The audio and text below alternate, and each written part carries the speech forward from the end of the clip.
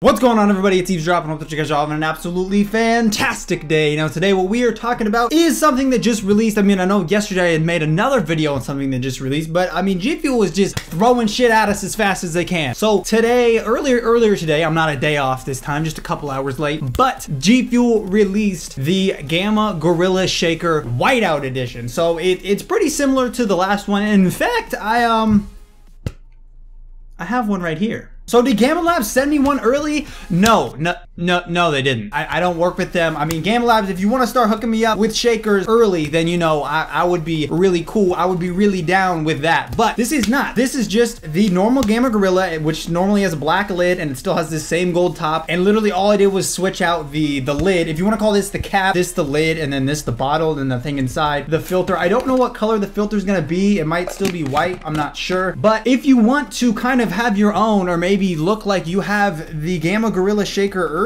which is probably what my thumbnail is going to be look like. Someone's going to call it clickbait. Oh my god, he lied. He doesn't actually have it. But at least I kind of have it this time, unlike when I photoshopped in the uh, the Tico one into my hand. But if you want to look like you have it early, or if you just want to see kind of what it looks like, it's going to look most likely pretty similar to this. The only thing I could see that they might do different is they might make this a little bit more white. You can't really tell in the video just because the camera won't pick it up as easy, but it's it's slightly clear, like very, very slightly when you have liquid in here, it's not just white. You can see like that it's full and you can see the color pretty, uh, it, I mean, it's pretty like washed out because this is so white. But this is, this is pretty much what it's to look like. This is the new shaker cup that they just dropped and they just dropped the premium pack yesterday. If you want to learn more about the premium pack, go ahead and watch the video that I dropped yesterday. I will link it right here. And if you want to watch my video that I made talking about the things that G Fuel is about to release, which two of them are now released, uh, but there's still two more things that are going to be really cool that are coming out soon. Go ahead and check it. I will link it right here as long as the other one has gone away already. Yeah, so that is it. If you do, if you did want to get the Gamma Gorilla Whiteout Edition that you saw on the coming soon video, then definitely go ahead, go over to G Fuel. And one really cool thing is right now they are having their promotion that they do all the time where if you buy a tub, you get a free shaker. So if you do want to get this shaker and a tub, you can just go ahead and head over to G Fuel and buy a tub and get this shaker, not this exact one, because like I said, this is just the normal Gamma Gorilla switched out with a white lid, but you can get the, the Whiteout Gamma Gorilla and a tub, and the Whiteout will be free free, man. So if you were looking to get this shaker, it finally dropped. It did. And you can get it for free with a tub right now, which is totally, totally sick. Or if you just want to customize your own like I kind of did here, then, uh, you know, you can go ahead and do that too. But that is going to be it for the video. Hope you guys all really did enjoy. Again, we have another G Fuel release. I will be coming out with an unboxing video tomorrow that I actually recorded yesterday, but then we had all this other news and stuff come out that I made videos for that. So tomorrow I will have a pretty cool unboxing that I would like you guys to check out if you would. But again, if you did like the video, make sure to drop a like down below. Also, if you're new, make sure to drop a on the subscribe button, become part of the Eavesdrop army, become an eavesdropper today, and also click the bell to get the notifications of my videos as soon as they go live. But I will see you guys all again later. Thank you so, so, so much for watching the video, and also, whether or not you click the bell, whether or not you click the subscribe button or the like button, whether you did those things or not, just make sure to have an absolutely fan-freaking-tastic day. First and foremost, have a good day, but I'll see you guys all later. Thanks again for watching, and as always, I've been Eavesdrop, and...